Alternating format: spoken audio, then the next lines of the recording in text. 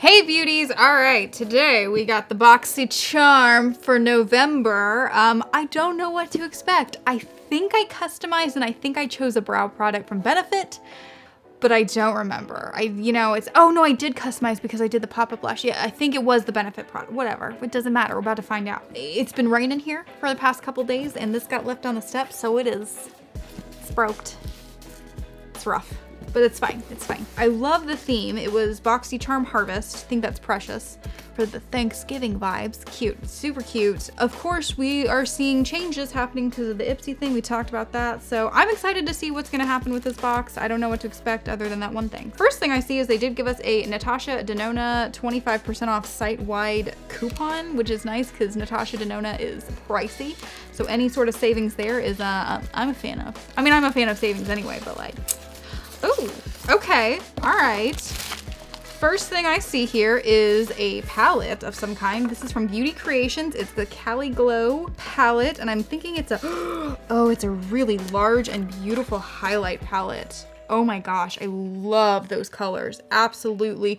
Very golden, um, very you know, it's some it's funny because the packaging for it really gives me summer vibes, but these colors are definitely something that my fall aesthetic would go to, like those golden, the warm tones, which I kind of gravitate towards anyway. But like, I love it. Oh my God, huge fan of that.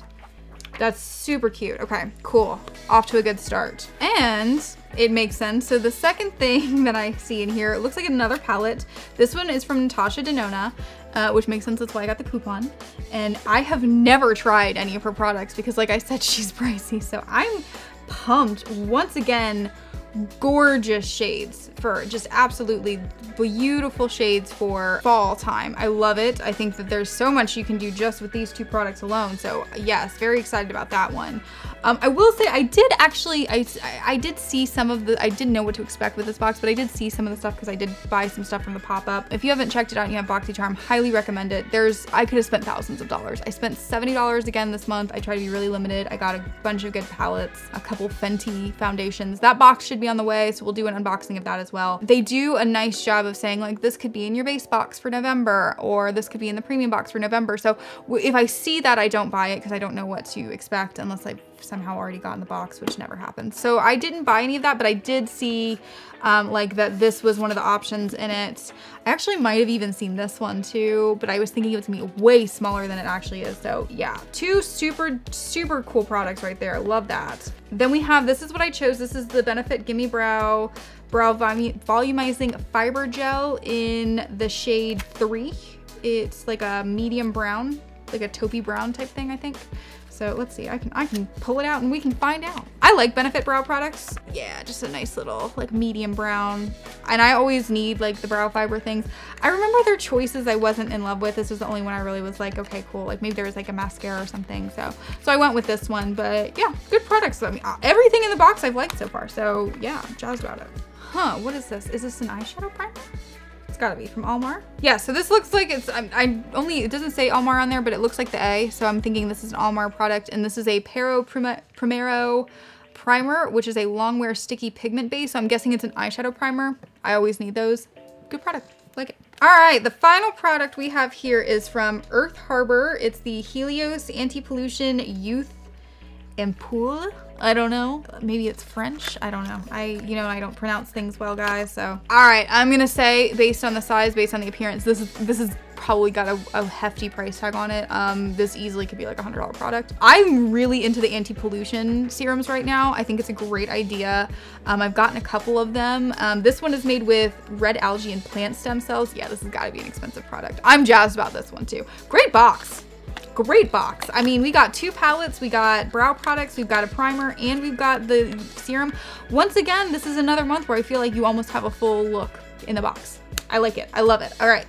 They uh, they have continued to give us the price list. So I've got my handy dandy assistant right here He's got his uh, handy dandy calculator ready because mental math is not our strong suit. We're gonna run down and we're gonna give the price of each product and see what the value of the box is. Alrighty, let's start off with the Natasha Denona Peak Palette. This is $48. Um, actually, that is cheaper than I thought it would be. I've looked at Natasha Denona's products quite a bit actually because I've wanted to try it, but she's she's got some hefty price tags on her stuff. So not a bad little bundle thing right there.